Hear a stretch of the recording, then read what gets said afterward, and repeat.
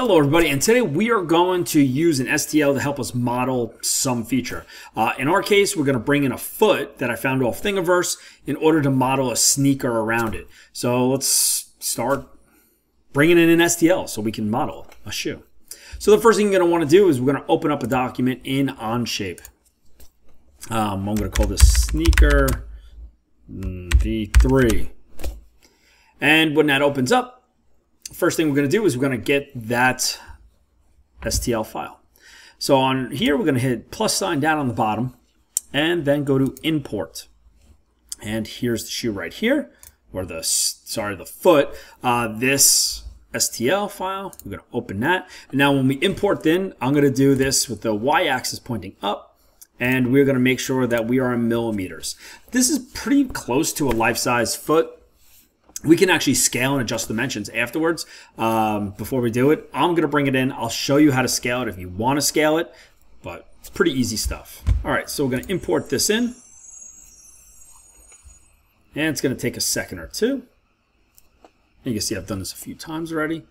And it looks like it was translated successfully and imported in. So I can X out of all of that.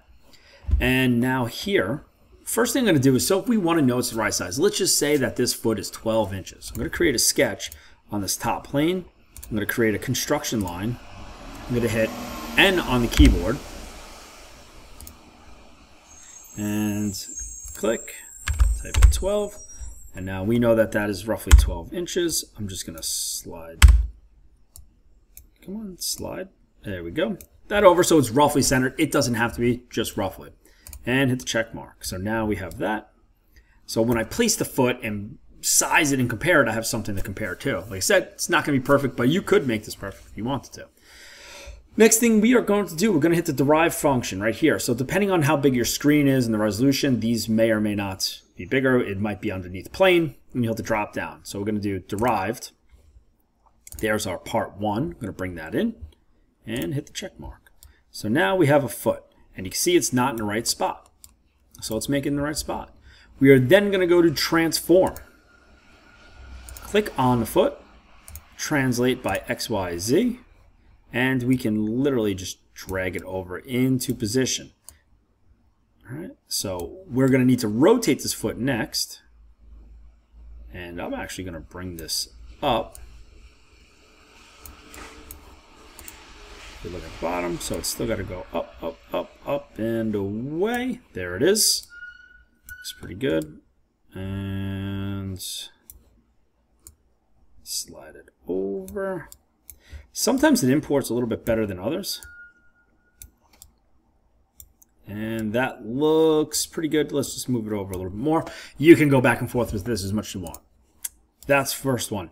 Now I'm going to do is I'm going to create another sketch because I need to rotate this whole foot like that. So like almost like there was an axis through here. So I'm going to create a sketch on this one. Same thing. Uh, it could be a line of any size. I'm going to go up from the origin and straight up like that. It's constrained. Construction line, once again, that's this little piece right here, or Q, Q on the keyboard. Finish sketch.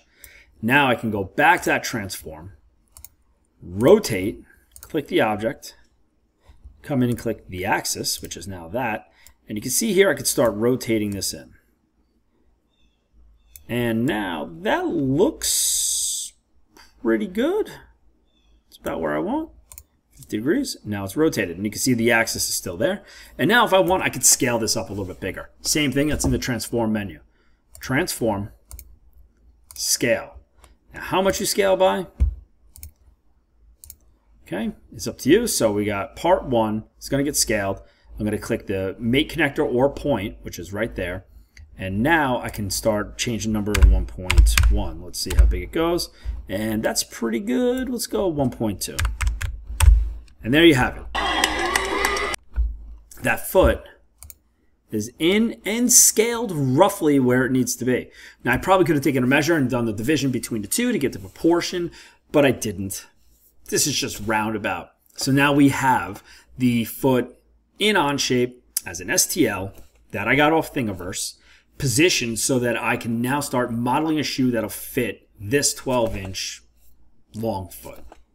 So what I'm going to do is I'll stop here upload this so you have it and now everyone can do that now you could do this with anything it could be car parts it could be plane parts. I don't know whatever it is that it is that you grab an stl from now you can model around it. And you can see here down it's a separate part. All right everyone that's the first step. On to step two is going to be modeling the actual shoe. Oh don't forget to like and subscribe because well it helps me make these videos.